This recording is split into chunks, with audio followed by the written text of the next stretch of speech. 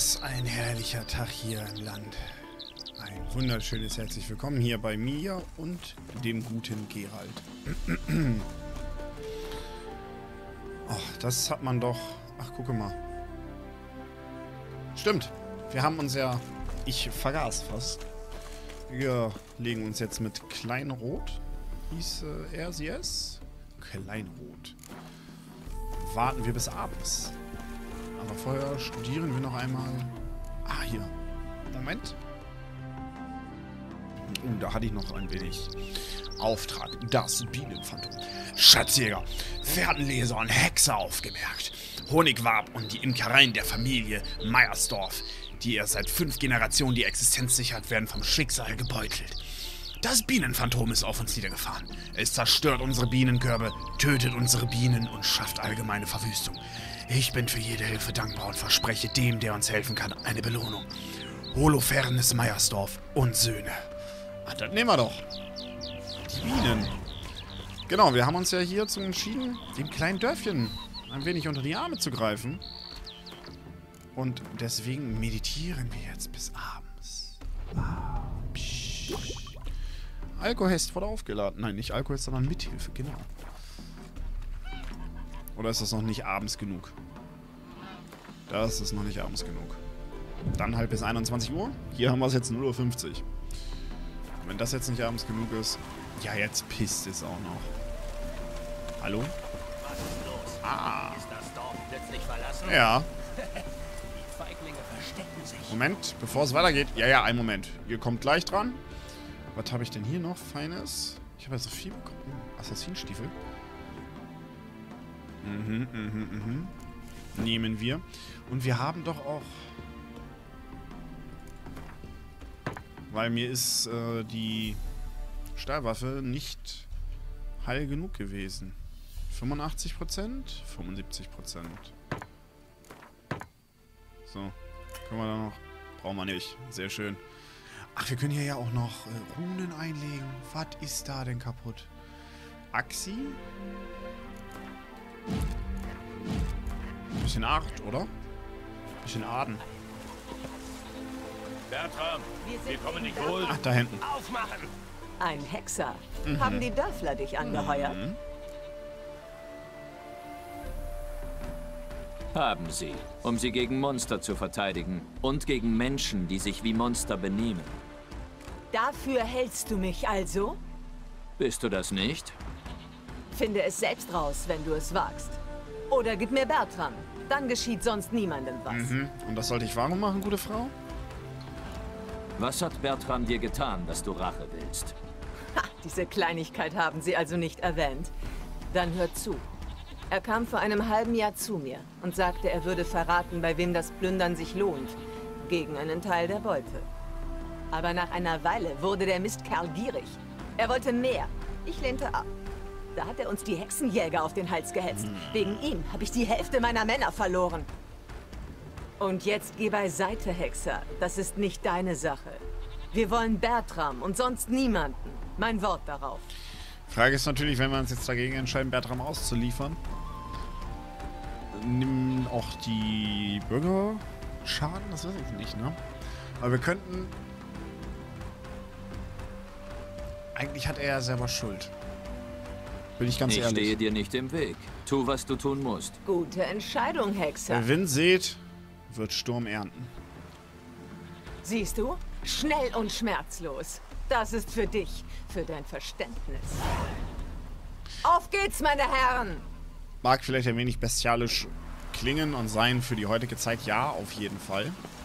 Stimme ich zu. Selbstjustiz und hast du nicht gesehen. Aber wir sind nicht in der heutigen Zeit. Das ist eine ganz andere... Oh, da muss ich hin. Ein äh, ganz anderer Schlag von Welt. Komm, durch da, durch das Sonnenblumenfeld. Und wer weiß, wenn wir da jetzt drauf losgegangen wären, hätten die Bürger vielleicht was ab abbekommen? Eine Mistgeburt. Ich hätte gern Fackeln. Eine Schupf, Schnupf, Sch was? Eine was? Jetzt spring doch zur Seite, Gerald. Eine Sumpfschrulle. Warum lese ich Schlupf, Schlupfschrulle?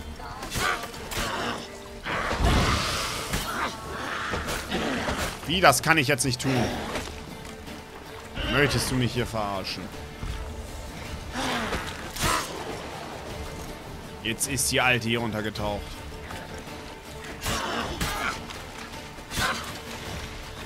Ach, das kann ich nicht tun, weil... Ah, jetzt...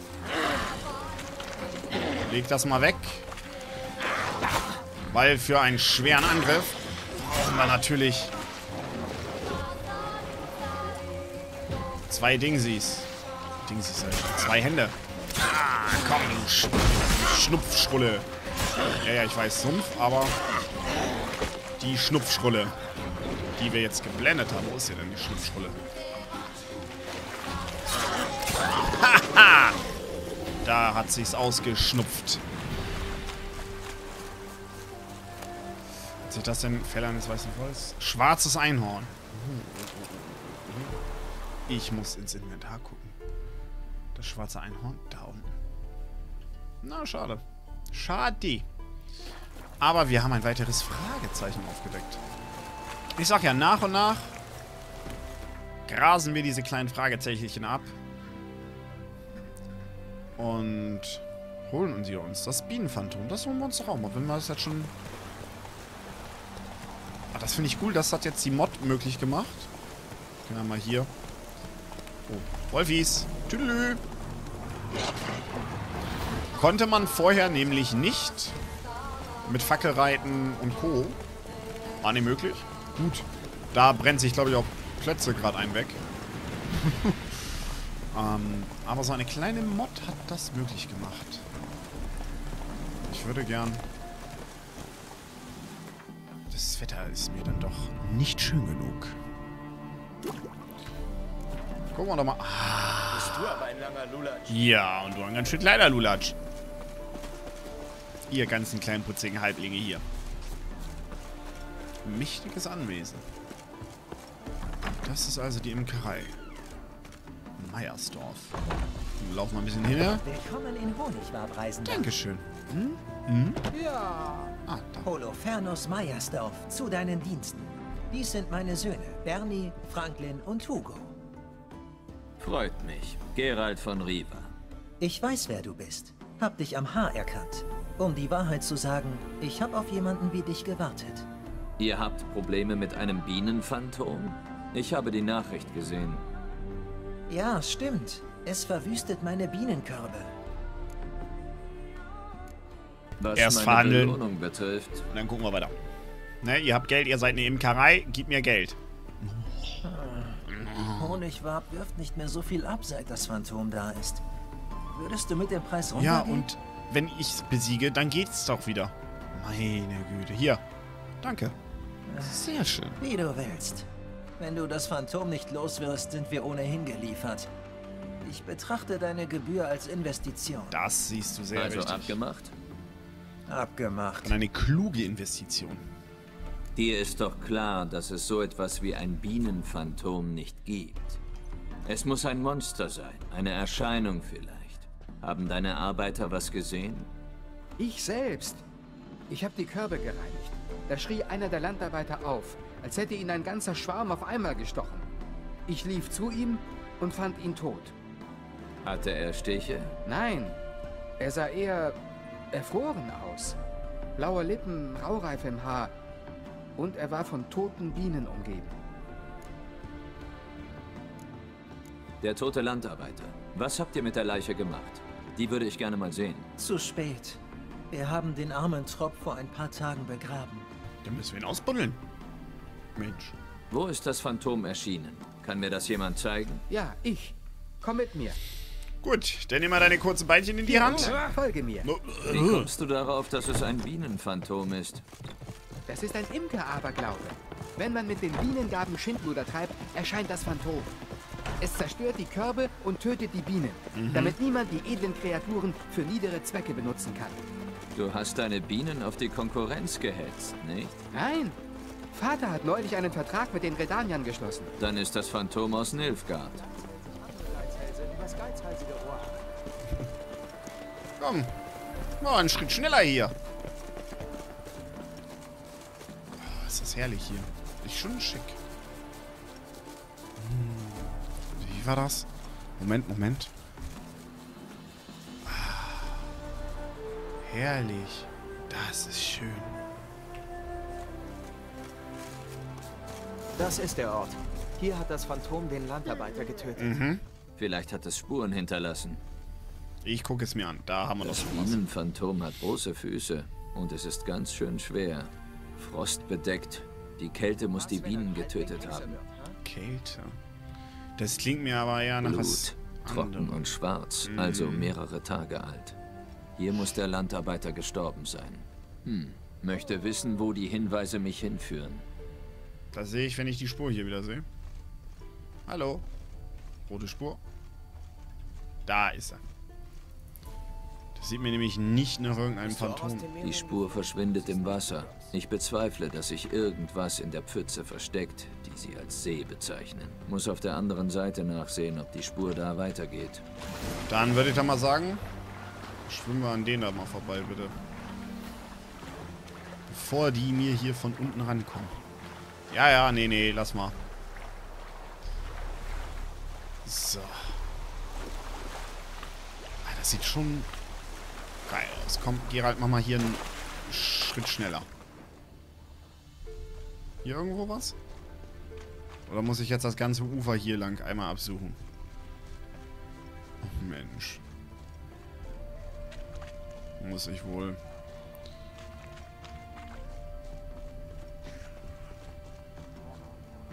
Und so wie ich mich und mein Glück kenne. Oh, da sind wir doch schon wieder. Dann muss es ja doch irgendwo hier.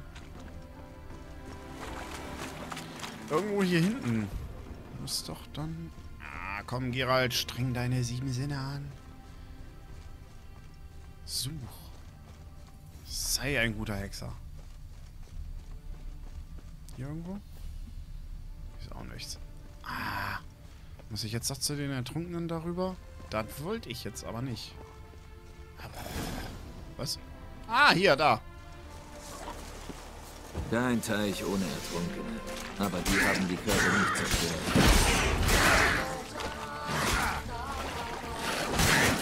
Ah, die sehen aber cool aus. Oh, oh, oh. Und ich sehe ganz schön tot aus gleich. Au. Nicht so voreilig, ihr liebe Burschen. Ah. Jetzt nur noch wir beide, meine Hübsche. Ha! Oh. Da ist er nur vor Freude aufgesprungen. Heute bin ich aber auch besonders mutig und gehe einfach rein da. So, wo war jetzt die Spur? Die Spur war hier. Hinterher. Ich äh, will gespannt sein. Da komme ich nicht durch. Muss einen anderen Weg finden. Einen anderen Weg. Sehr wohl, aber bevor wir das machen, wir können ja mal nochmal in unsere Alchemie gucken.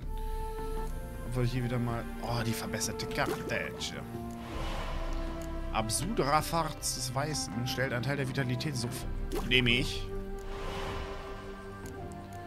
Da müssen wir uns auch noch ein bisschen mit auseinandersetzen. Würde ich behaupten. So, hier geht's rein. Da geht's rein. Machen wir da mal den. Und dann sagen wir mal... Guten Tag. Mach auf da. Verschlossen. Ja, komm. Ich habe den Schlüssel hier. Vater hat das Haus für Bernie angefangen. Aber dann ging ihm das Geld aus. Seitdem steht es halbfertig da. Prima Versteck für den Zerstörer eurer Körbe. Ich gehe rein. Ihr geht nach Hause und verriegelt die Tür. Wer weiß, was da rauskommt. Da bin ich gespannt, was da rauskommt. Genau, öffne dein... Öffne dein Herz, nein. Zieh das Schwert und... Muss ich jetzt hier hinten in der Ecke... Das gibt's doch nicht. Das Bienenphantom. Was bist du denn? Tom, ha, ein Hund der wilden Jagd. Wie zum Henker ist der hierher geraten. Auf, geh Klötze holt dich ein. Plötze holt dich ein, okay. Plötze! Plötze! Komm schon, Plötze. Hinterher da. Auf das Viech. Ich sag es dir. Ernsthaft jetzt? Muss ich da jetzt nur hinterher... Hinterher dödeln? Da hätte ich auch hinterher laufen können, du. Alles gut. Das machen wir schon. Oller Kackköter. Besiege den Hund der wilden Jagd. Den Hund der wilden Jagd, ja. Würde ich gern. Sag mal. Wie mich das Kackviech...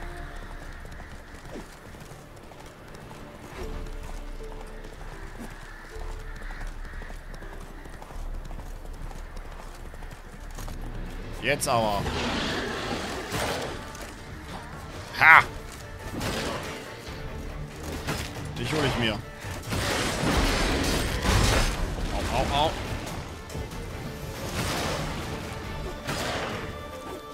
Volles Viech. Ne, ne, ne, ne, ne, ne, ne. Nicht mit mir hier. Da brennt dir doch hier die Luzi.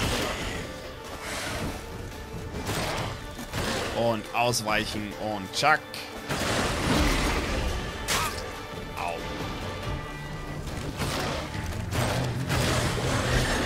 Ja, auch so. Guck mal. Kann man auch so kämpfen, ne?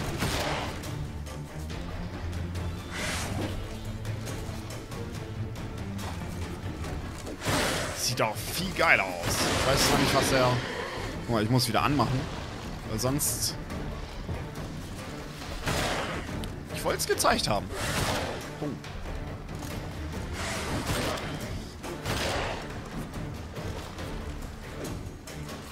Komm schon, komm näher.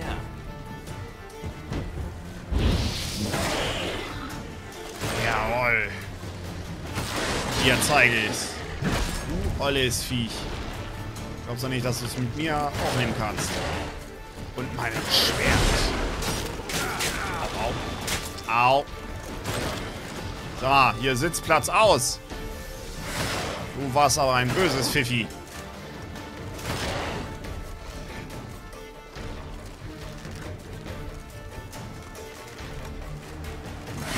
Okay. Zack. Zack. Nee, nee, nee, nee, nee, nee.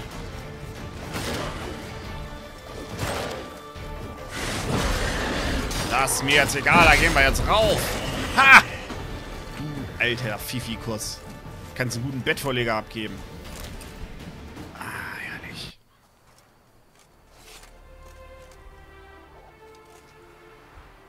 Und rein in das Fleisch. Mm. Plätze! Wir müssen uns die Belohnung abholen. Jetzt ja mal hier die schöne Prärie angucken. Das war gut und schnell verdientes Geld, muss ich sagen. Doch, doch. Kann man mal machen. Hast du was Schönes? Sei gegrüßt. Ich würde mir gern... Jetzt nicht so unbedingt, ne? Schade. Obwohl, ich könnte mal meinen ganzen Tandaradei Ich würde mir gerne deine Waren ansehen. Alles wegkladderadatschen. Oh, was war das? Sil Silbersteiner Schwände, nö. Ganzen Mumpitz verkaufen. Das brauche ich auch nicht. Und ich glaube so, nö, nö. Das wollte ich aber halten. Freischärferstiefel. Plus 57 Rüstungsdurchbohrung. Wir verlieren nur ein auf unten. Ja, die behalte ich. Ach, guck mal, ich habe hier ja Milliarden von Satteln. Kann ich die nicht mal... Alle ad absurdum... Brauche ich ja alle nicht mehr, ne? Haben die einen Wert? 24. Äh, nö. Aber da können wir mal demnächst durchgucken, was wir da so alles an äh, Trophäen haben und was sie verbessern. Und Tülü. Nein, Ich würde mir gerne deine Waren ansehen. nein, würde ich nicht. Das haben wir nämlich schon. Zwei. Leb wohl. Ich mit meinen dicken Wurstfingern wieder. War da nicht gerade Plätze? Ah, gucke mal. Ich hab doch gesagt, da war noch irgendwas. Was ist denn passiert? Als wäre der Krieg nicht genug, Herr. Ich verliere meine Hühner. Wovon soll ich leben? Hm? Hast du die Diebe gesehen? Welche Diebe? Meine Hühner werden von Monstern gestohlen. Einen gewöhnlichen Dieb würde ich mir selbst zur Brust nehmen. Aber Monster? Was kann ich da tun? Dafür gibt's mich. Ich kann dir helfen. Nicht Händler. umsonst. Aber du bist schon im fortgeschrittenen Alter, da nehme ich nicht viel. Papalapap. Nicht viel, sagst du jetzt. Aber am Ende nimmst du es doch vom Lebendigen. Ah, Aber ich habe ja sonst niemanden. Meine Hühner verschwinden seit etwa einer Woche. Eins nach dem anderen holen sich die Biester. Sie holen sie einzeln? Interessant. Haben die Monster Spuren hinterlassen? Ja, Wolfsspuren. Nur seltsam. Es ist, als wären die Wölfe auf den Hinterläufen gegangen.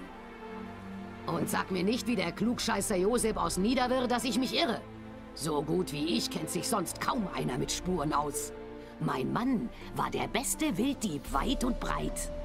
Verstehe. Ich würde mir die Spuren trotzdem gern selbst ansehen. Ja, das machen wir. Aber erstmal holen wir uns die Belohnung ab. Der leere Stall, der wird nicht voller.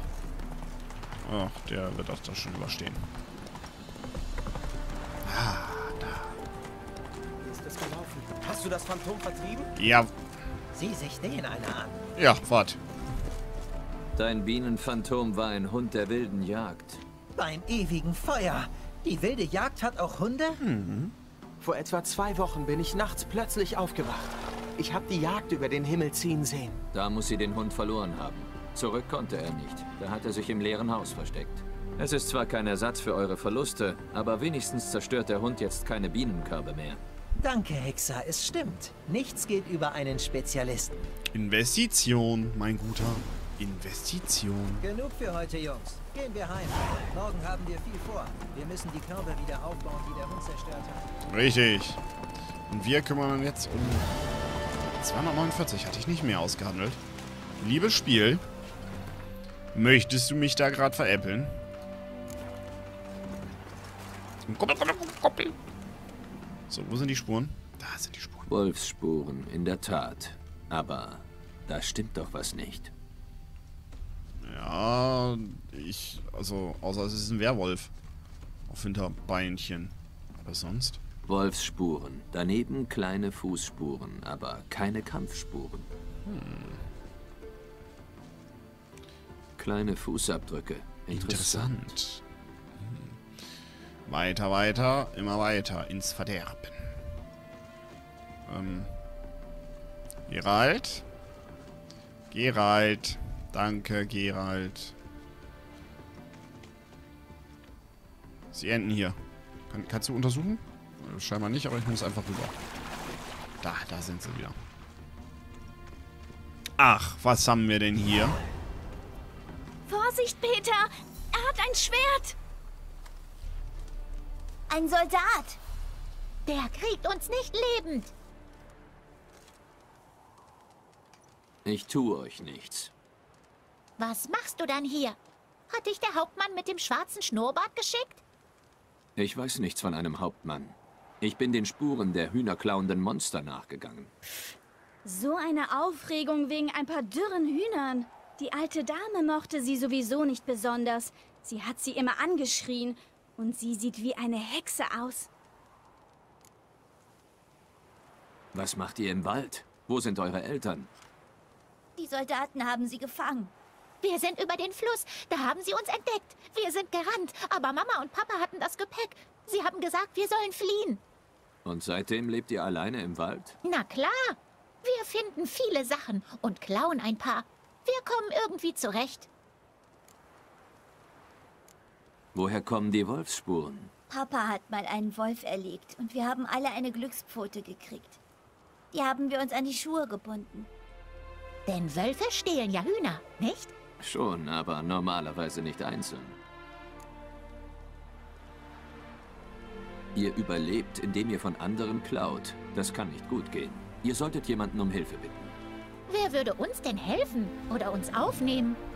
Ich wüsste da Sobald wen. wir alle Hühner haben, gehen wir tief in den Wald. Peter sagt, dass wir jagen, Tierfälle tragen und ein Zelt aus Blättern machen. Und nie erwachsen werden. Das ist noch der wahrscheinlichste Teil. Viel Glück auch. dann. Und passt auf euch auf. Genau das, was da nämlich jetzt steht, habe ich mir nämlich auch überlegt. Oder gedacht, wir überzeugen einfach die alte Dame. Kriegen wir da bestimmt hin.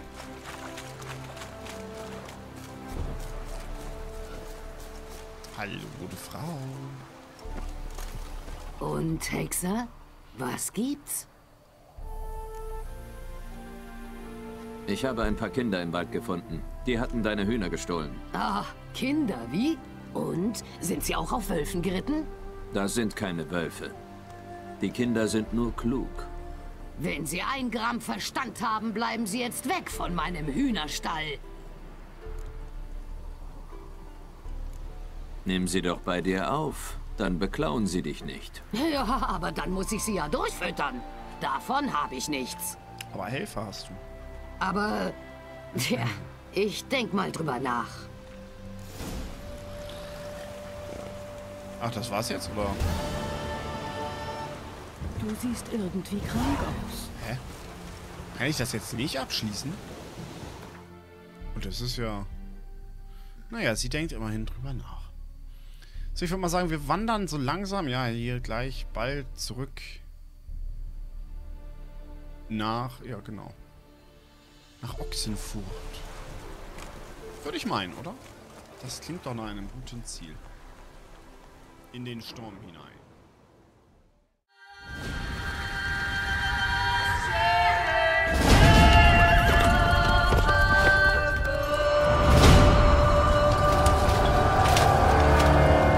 Once we were many. Now we are few. Hunters, killers of the world's filth. Witchers, the ultimate killing machines. Among us, a legend. The one they call Geralt of Rivia, the White Wolf. We meet again, Witcher. Your Imperial Majesty. She's returned, Geralt. After all these years. Are you sure it's her? Yes. And she's in danger. Witnesses claim the Wild Hunt follows her. You must find her. And when I do, what then? I shall give her what she deserves.